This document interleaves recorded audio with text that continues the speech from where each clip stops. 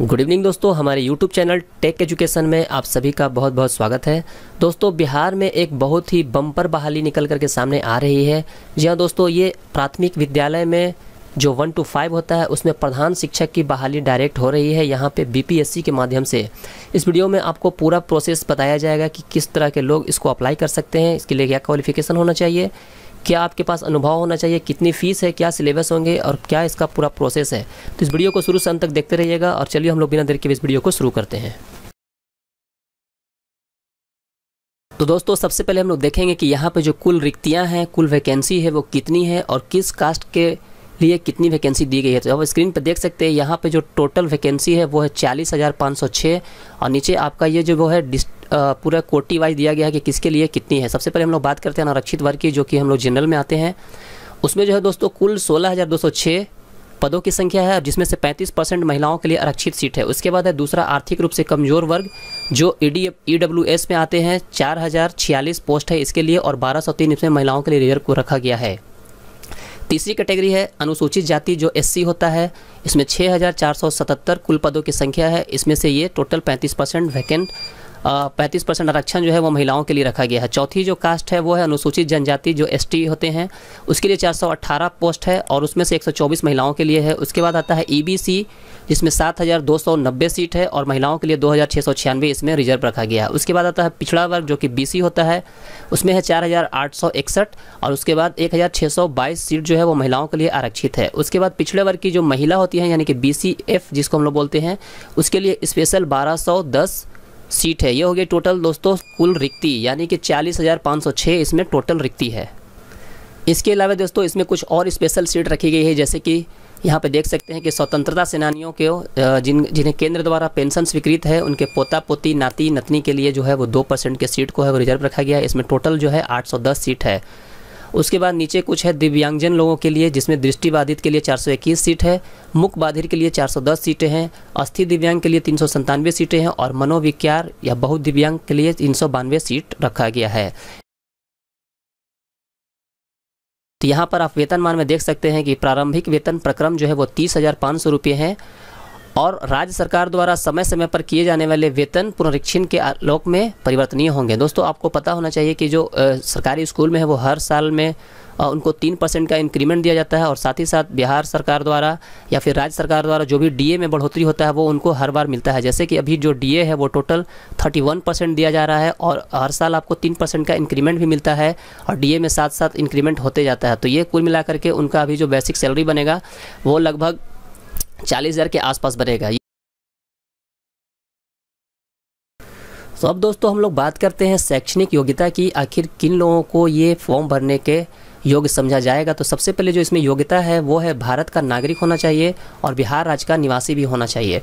उसके बाद जो दूसरा है, वो है मान्यता प्राप्त विश्वविद्यालय से कम से कम 50 प्रतिशत अंकों के साथ स्नातक उत्तीर्ण, यानी कि वो आदमी ग्रेजुएट होना चाहिए और 50 परसेंट अंक कम से कम होना चाहिए। इसके अलावा अनुसूचित जाति, अनुसूचित जनजाति, अत्यंत पिछड़ा वर्ग पिछड़ा वर्ग, दिव्यांग, महिला और आर्थिक रूप से जो ई डब्ल्यू में आते हैं, उन लोगों को पाँच की छूट दी जाएगी। यानी उसके बाद दोस्तों यहाँ पे एक और चीज़ लिखा हुआ है कि मौलाना मजरुल हक अरबी और फारसी विश्वविद्यालय पटना और बिहार राज्य मदरसा शिक्षा बोर्ड द्वारा जो आलिम की जो डिग्री होती है वो भी यहाँ पे समकक्ष माना जाएगा स्नातक के। यदि आप उर्दू बोर्ड से पढ़े हुए हैं या फिर मौलाना मजरुल हक से आपका आ, कोर्स किया हुआ है जो आपने ग्रेजुएसन किया है तो वो जो डिग्री होती है वो भी आप इसमें इसको समतुल्य इसके माना गया है।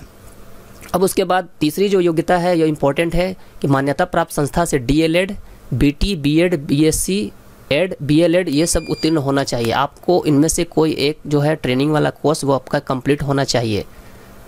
यानी कि ये सिर्फ़ प्रशिक्षित शिक्षकों के लिए है जो ऑलरेडी पहले से प्रशिक्षण प्राप्त कर चुके हैं।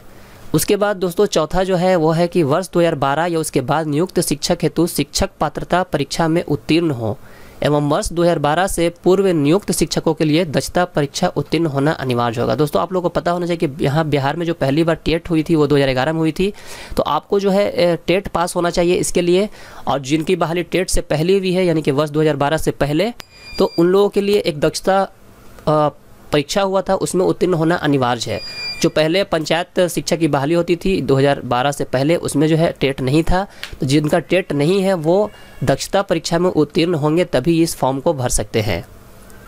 यहाँ पर एक और चीज़ आपको नोट में लिखा हुआ है कि शिक्षक पात्रता परीक्षा से अभिप्रेत यह है, यानी कि टेट का मतलब ये है कि बिहार सरकार या केंद्र सरकार द्वारा प्राधिकृत संस्थान द्वारा वर्ग एक से फाइव और सिक्स टू एट यानी कि यहाँ पे जो बिहार सरकार द्वारा होता है, जो स्टेट होता है वो भी मान्य होगा, और जो केंद्र सरकार द्वारा जो सीटेट होता है, वो दोनों यहाँ पर मान्य होगा। तो उसके बाद बात करते हैं अनुभव की। दोस्तों, यहाँ पे अनुभव के तौर पे आपको जो है आठ साल की लगातार सेवा आपके स्कूल में होनी चाहिए। और आप जो है, वो योगदान की तिथि और प्रशिक्षण प्राप्त करने की तिथि जो आपकी अंतिम तिथि है, उसी से ये काउंट किया जाएगा। ध्यान दोस्तों, मैं आपको अपनी भाषा में बताता हूँ कि आप जो है, वो आठ वर्ष से अगर किसी स्कूल में पढ़ा रहे हैं, तभी आप इस फॉर्म को भरने के योग्य हैं। और आठ वर्ष आपका तब से गिना जाएगा जब से आपका प्रशिक्षण प्राप्त हो चुका है। जैसे एग्ज़ाम्पल के तौर पर यदि आपने 2014 में स्कूल ज्वाइन किया था और आपकी जो ट्रेनिंग है वो 2019 में हुई है तो आप इस बहाली के योग्य नहीं होंगे क्योंकि आपका जो एक्सपीरियंस काउंट होगा वो आपके प्रशिक्षण के बाद से ही इसमें काउंट किया जाएगा। और आप जो भी अनुभव प्रमाण पत्र देंगे, उसका जो डेट होना चाहिए अनुभव प्रमाण पत्र पे, वो 22 अप्रैल 2022 से पहले का होना चाहिए। आपको स्कूल से, अपने स्कूल से प्रभारी से या फिर अपने हेडमास्टर से एक अनुभव प्रमाण पत्र भरवा करके देना है, जिसका डेट 22 चार 2022 से पहले का होना चाहिए। अनुभव प्रमाण पत्र का फॉर्मेट आपको वीडियो के डिस्क्रिप्शन में दे दूँगा। यदि आप लोग को चाहिए तो आप नीचे कमेंट बॉक्स में उसे मांग सकते हैं, मैं आप लोग को वो प्रोवाइड करा दूँगा।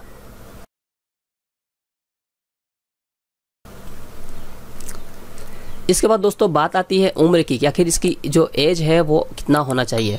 तो इसमें जो एज है दोस्तों, वो न्यूनतम और अधिकतम सीमा अलग से निर्धारित नहीं की जाएगी, परंतु अधिकतम आयु सीमा दिनांक एक आठ इक्कीस तक वार्धक के सेवानिवृत्त की उम्र जो 60 वर्ष है, निर्धारित है, से अधिक नहीं होना चाहिए। यानी कि आपका जो उम्र है, वो 60 साल से ज़्यादा नहीं होना चाहिए, क्योंकि 60 साल में दोस्तों रिटायरमेंट का जो उम्र होता है, वो हो जाता है तो आपका उम्र जो है, वो 60 साल से अंदर होना चाहिए।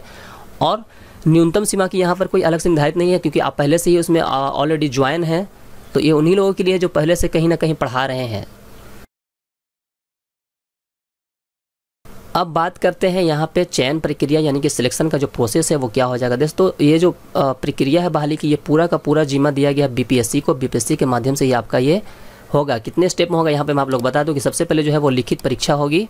लिखित परीक्षा में आपको जो है वो डेढ़ सौ प्रश्न होंगे जो कि वस्तुनिष्ठ और बहुविकल्पीय होंगे। इसमें सामान्य अध्ययन पचहत्तर अंक के लिए और डी विषय पचहत्तर अंक के लिए। ये दो ही विषय आप लोगों को होंगे। ये दोनों का सिलेबस भी मैं आप लोगों को प्रोवाइड करवा दूँगा कि क्या क्या आपको पढ़ना है और किस किस टॉपिक पर आपको स्टडी करना है। तो यदि आपने चार क्वेश्चन का आंसर गलत दिया तो आपका एक नंबर कट जाएगा और परीक्षा की जो अवधि है वो पूरे दो घंटे की होगी। इसके बाद दोस्तों, जब आप लिखित परीक्षा में पास हो जाएँगे तो इसमें कोई साक्षात्कार नहीं है, यानी कि कोई इसमें इंटरव्यू नहीं है डायरेक्ट आपकी बहाली ले ली जाएगी। उसके बाद दोस्तों, यहाँ पे कट ऑफ़ की बात करें तो सबसे पहले जनरल के लिए है। जनरल को जो है, वो कम से कम 40 परसेंट मार्क्स लाना है पास होने के लिए। उसके बाद पिछड़े वर्ग के उम्मीदवारों के लिए 36.5 परसेंट, अत्यंत पिछड़ा वर्ग के लिए 34 परसेंट, अनुसूचित जाति, अनुसूचित जनजाति और महिलाओं और निशक्त दिव्यांग उम्मीदवारों को कम से कम बत्तीस इसमें अंक लाना होगा, तभी वो पास कर पाएँगे। अब बात करते हैं दोस्तों कि आरक्षण लेने के लिए आपको क्या करना पड़ेगा। तो आरक्षण में यहाँ पे देखिए साफ़ साफ़ लिखा हुआ है कि ऑनलाइन आवेदन पत्र में इंगित कॉलम में आरक्षण का दावा नहीं करने पर आरक्षण का लाभ नहीं मिलेगा। यदि आप आरक्षण का दावा नहीं करें, कर रहेंगे तो आपको सीधे जनरल में शिफ्ट कर दिया जाएगा। जाति के आधार पर आरक्षण का लाभ उन्हीं उम्मीदवार को मिलेगा जिनका अस्थायी निवास बिहार राज्य में है। जो बिहार के मूल निवासी हैं, उन्हीं को यहाँ पर आरक्षण का लाभ दिया जाएगा। उसके लिए आपको क्या करना है? अनुसूचित जाति एवं अनुसूचित जनजाति के उम्मीदवारों को निम्नांकित प्रमाण पत्र जमा करना अनिवार्य होगा। सबसे पहले जाति प्रमाण पत्र और उसके बाद जो अस्थायी निवास है, मूल निवास, वो प्रमाण पत्र दोनों होना चाहिए। पिछड़ी जाति एवं अत्यंत पिछड़ी जाति के उम्मीदवारों को क्रीमी लेयर रहित प्रमाण पत्र जमा करना होगा। विवाहित महिला आरक्षण का लाभ लेना चाहती है तो वो अपना जाति और प्रमाण पत्र जो भी बनवाएँगे, वो अपने पिता के नाम से बनवाएँगे और पिता के एड्रेस पे ही बनवाएँगे। अपने पति के नाम पर और अपने पति के एड्रेस पे बनाएँगे तो ये मान्य नहीं होगा। इसके बाद दोस्तों, अगर हम लोग परीक्षा शुल्क की बात करें तो यहाँ पे देख सकते हैं साफ़ साफ़ लिखा हुआ है, सामान्य अभ्यर्थियों के लिए साढ़े सात सौ रुपये का शुल्क लगेगा। केवल बिहार राज्य के अनुसूचित जाति और अनुसूचित जनजाति के लिए दो सौ रुपये। बिहार राज्य के अस्थायी निवासी सभी आरक्षित और अनारक्षित वर्ग, महिला उम्मीदवारों के लिए दो सौ रुपये का शुल्क है। दिव्यांग अभ्यर्थियों के लिए चालीस परसेंट या उससे अधिक के लिए दो सौ रुपये का शुल्क है। अभ्यर्थियों को उपयुक्त परीक्षा शुल्क के अतिरिक्त विभिन्न बैंकों द्वारा निर्धारित चार्ज भी देना होगा। ये जो पेमेंट करेंगे, वो ऑनलाइन पेमेंट करना होगा और साथ ही साथ वहाँ पर कुछ बैंक के चार्ज होंगे जो आपको फॉर्म फिल करते समय पेमेंट के टाइम में ऑप्शन आएगा तो वहाँ पर आपको कुछ बैंक का भी चार्ज देना पड़ेगा। दोस्तों, ये तो हो गया नोटिफिकेशन इसमें बहुत सारी बातें हैं। अगर आपको और भी कुछ जानना चाहते हैं या फिर किसी तरह के कोई प्रश्न मन में है तो नीचे कमेंट बॉक्स में आप अपना प्रश्न ज़रूर पूछ सकते हैं, आपको पूरी जानकारी दी जाएगी। दोस्तों, जिस दिन 28 तारीख से इसकी बहाली की जो प्रक्रिया वो शुरू हो रही है बीपीएससी के माध्यम से और बीपीएससी पे ही जो है इसका ऑफिशियल वेबसाइट है, उस पर आपको ये ऑनलाइन फॉर्म फिल करना है। जैसे ही 28 तारीख को शुरू होगा, मैं आप लोगों को स्टेप बाय स्टेप फॉर्म भरने का भी तरीका आप लोगों को बताऊँगा। अगर आपको वीडियो अच्छी लगी हो तो इसे लाइक करें, हमारे चैनल को सब्सक्राइब करें और अपने दोस्तों में शेयर करेंगे फिर मिलेंगे दोस्तों नेक्स्ट वीडियो में। धन्यवाद।